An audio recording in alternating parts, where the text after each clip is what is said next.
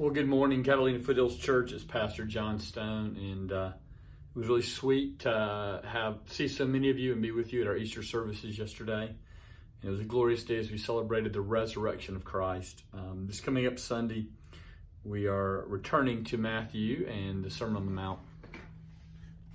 And here's what it says. Uh, you have heard that it was said, eye for an eye and tooth for a tooth, but I tell you, do not resist an evil person. If anyone slaps you on the right cheek, turn to them the other cheek also. And if anyone wants to sue you and make and take your shirt, hand over your coat as well. If anyone forces you to go one, one mile, go with them two miles. Give to the one who asks you, and do not turn away from the one who wants to borrow from you. You've heard that it was said, love your neighbor and hate your enemy. But I tell you, love your enemy and pray for those who persecute you, that you may be children of your Father in heaven. Causes his sun to rise on the evil and the good and sends rain on the righteous and the unrighteous. If you love those who love you, what uh, reward will you get? Are not the, even the tax collectors doing this? And if you greet only your own people, what are you doing more than others? Do not even pagans do this. Be perfect, therefore, as your heavenly Father is perfect. So the last sentence, quite honestly, is tough. Be perfect as your heavenly Father is perfect. I think at the heart of what is being taught us here, both in an eye for an eye, and, and really some, heck, be, uh, it's really difficult. Be perfect as your heavenly Father is perfect, but also don't resist an evil person. Um, what we're being taught here is that this call to love our enemies is a call to model God and to model Christ. And we need to take it very, very seriously. And what I mean by that is, elsewhere in the scriptures it says, while we were Christ's enemies, while we were God's enemies, he sent Jesus to die for us. And Christ died for us while we were the enemies of God. Before we were converted, before we had faith in Christ, we were at enmity with God. We were, as it were, at war with God. We were against God. And he came and he gave us the Holy Spirit, which gave us faith and turned us to him. And we, he did that to us while we were his enemies. So he, right, he demonstrated this. We slapped at him as non-Christians or we tried to take his good things he gives us in the world and he, he did not resist us, even though we were evil.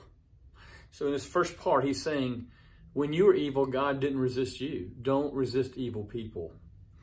Be imitators of God, but also love your enemies. Love those who persecute you. Pray for those who persecute you. Because in this way, you're demonstrating that you're children of God and you're also learning what it's like that God loved us, that God uh, loved us when we were his enemies.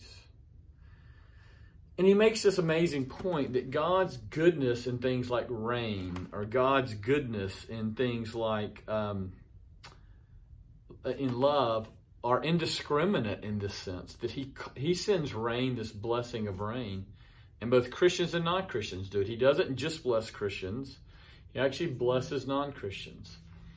Um, and that rain produces food. That rain produces water to drink. And God's love is being demonstrated both to those who love him and those who hate him.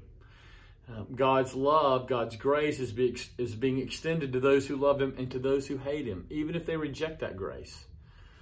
And so this is a real, uh, this is a real line of de demarcation for Christians because his call to love our enemies, his call to do good to those who are doing evil to us, those who are persecuting us, is a fundamental moment when we begin to behave and we begin to follow and we begin to be like God. God was perfect. This is stunning. He is perfect in the way that he deals with everyone. And we are to follow that example and we are to care not only for our families and our friends, but for those who hate us. It's interesting, and this is important. We'll highlight this on Sunday. He says, if you love those who love you and you take care of those who take care of you, you're no different than the pagans, than the non-Christians.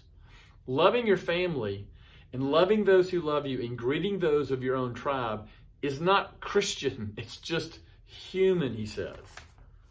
What is Christian is when we say, no, we love our enemies. We give and care to those who take advantage of us at times. Certainly in our benevolence at times, people will take advantage of us, and they should because we took advantage of Christ when we were outside of Christ. This idea of loving, loving our enemies the same way we love ourselves, loving our enemies even when they hate us, is what is a marker and a sign that we have really understood the life of God. What a powerful passage. Look forward to working through it this week and being with you on Sunday. I hope you have a great week and we'll see you soon.